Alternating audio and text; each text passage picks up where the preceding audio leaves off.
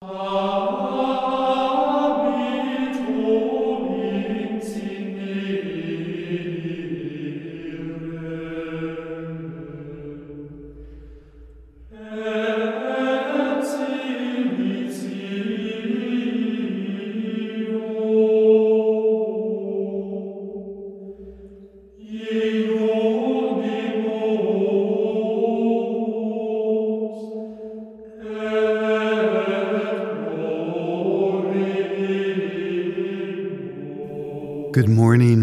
beautiful Thursday to all of you praying with us today. Thank you.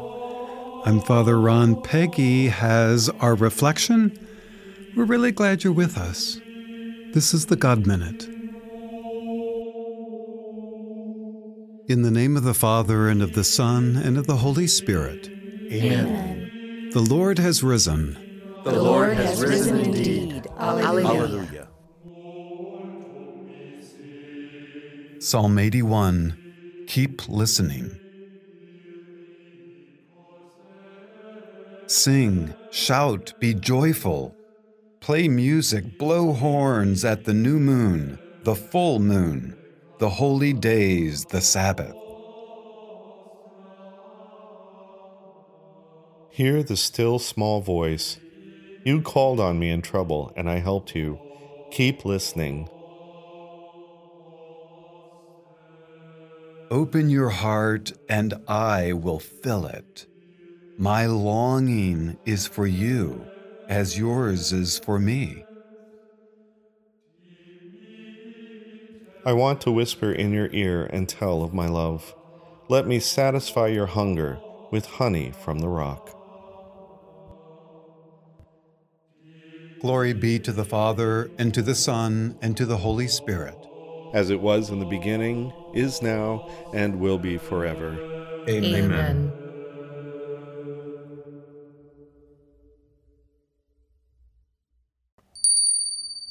A reading from John, chapter 15, verses 10 and 11.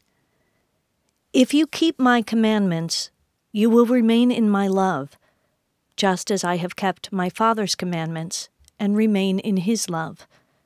I have told you this so that my joy may be in you and your joy may be complete. The word of the Lord. Thanks be to God. What's the number one commandment? I'm not talking about the 10 sent through Moses on Mount Sinai, just just the one big one from Jesus. You remember it? Love. That's it. Love God and love one another. If we expand today's scripture to the verses that come immediately before and after what I just read, this is what we hear. As the Father loves me, so I also love you. Remain in my love. We also hear, This is my commandment love one another as I love you. That's the key to the joy identified in the scripture today.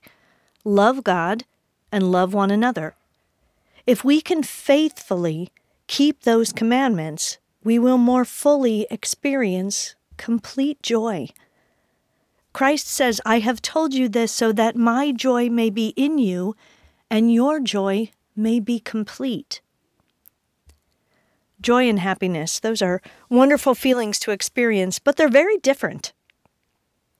Joy comes when you make peace with who you are, why you are here, and how you are.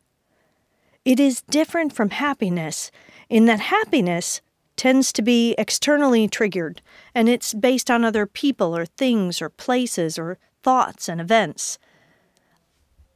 Having a warm afternoon or spending a warm afternoon at a winery, that makes me happy. Enjoying a good cup of coffee after dinner, that makes me happy. Enjoying a family dinner with my children and my husband, that makes me happy. Happiness doesn't often last. It comes and goes based on circumstances. Well, if you're like me, sometimes in your certain circumstances, you lose touch with who you are as a child of God.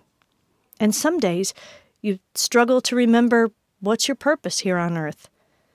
Maybe you don't feel like you have a definite purpose. Perhaps you find yourself in a situation that has left you feeling unloved or unworthy.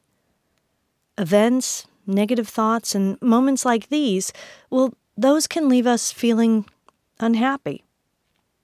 Happiness, or even unhappiness, is an outward expression. Joy is different. It's an inner feeling and is closely connected to God's grace. Joy endures hardships and trials and connects with meaning and purpose. Joy is a condition of the heart. It's a fruit of the Holy Spirit. It is in us precisely because we keep putting our effort into loving God and loving others, just as He commands.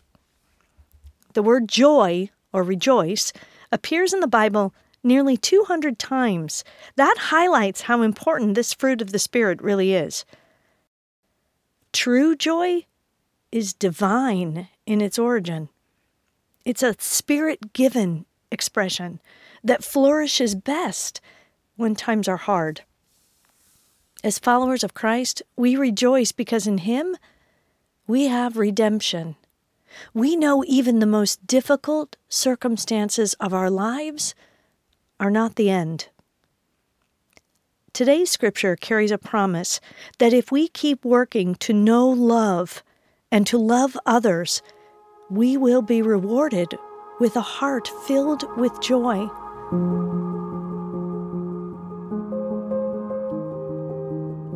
Moments of happiness, they come and go, but the joy of the Lord will last. What's standing between you and choosing joy today?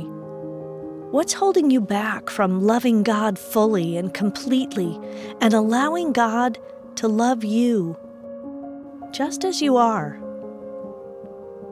Trust in God's Word and have faith that His promise of complete and full joy is possible when we dedicate ourselves to following His commandment.